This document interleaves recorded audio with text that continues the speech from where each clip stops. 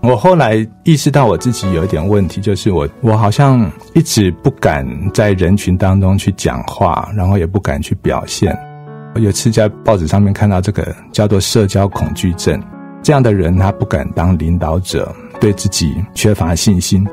那时候我们办公室来了一个新的主管，他一来就说：“哎，张安平，你上来当组长。”那我就跟他讲：“我不行，我不敢，我也不要。”抗拒了很久，可是我太太就会鼓励我说：“你需要改变了。”主管又一直鼓励很久，后来就说：“好吧，我试试看好了。”我的个性就是很害怕跟人家 call meeting 啊，然后站起来讲话啊，或者去指派人家做事情，压力开始累积起来，我就吃不下，然后也睡不着。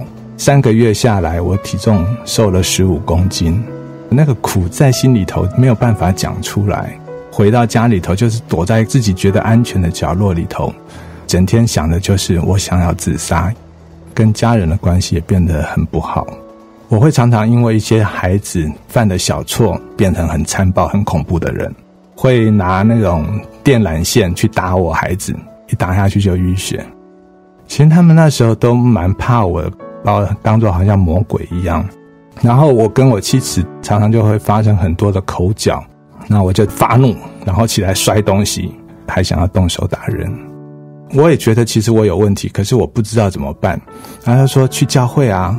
后来他们就说那个礼拜天的时候，特别邀请一个讲员分享他信主的过程跟经历。那蛮神奇的。我那一天进到教会之后，他就开始分享他以前的在当黑道的过程里头，他是多么的不堪。可是后来像他这样的人，竟然也能够成为牧师。最后他就唱一首歌，叫做盛小梅的《为什么对我这么好》。然后我那时候听了他的故事跟见证之后，然后唱起那个歌的时候，我眼泪就开始流。以前大概就是不知道自己在别人的形象里头是什么，很害怕别人的眼光跟指指点点。可是，在那一次里头，那个眼泪越流越大，越流越大，变成呃很大声的哭泣，甚至哭倒在地上，心里头有很大的平安在里头，某部分那种很大的压力就不见了。就每次去教会听到诗歌，我就是开始哭。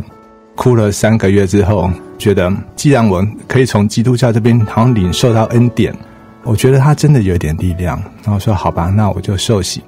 受洗之后，就慢慢找回来，好像神当初创造我的那个样子，把我身上那种冷漠啊、麻木啊，这一层一层的剥掉了。然后就家里头就会每一周都会有聚会，然后就有很多人，然后我很乐意去接待这些朋友到我们家里头来。我在有一次的聚会里头，我听到牧师分享说：“你如果要到祭坛跟神献礼物的时候，你想到有人跟你怀怨，就是跟你生气的时候，你这时候不要献礼物，你先去跟这个人和好，再来献礼物。”后来就跟我太太说：“那我要跟我回家跟我孩子道歉。”我就跟我孩子分享说：“因为我以前自己的问题，我用很错误的方式对待他们，我很抱歉。”然后我就跟我孩子就抱着头哭，还好我的孩子他们都很善良，他很愿意原谅我，所以后来我们的关系就变得很好。在希伯来书十一章第六节，人非有信就不能够得神的喜悦，因为到神面前来的人必须信有神，且信他赏赐那寻求他的人。改变的起点就是你要相信神是有能力的，而且他愿意帮助你。你到神的面前来，你必须信有这个神，而且相信他愿意赏赐那寻求他的人。Thank you for your love. This time I know you are my only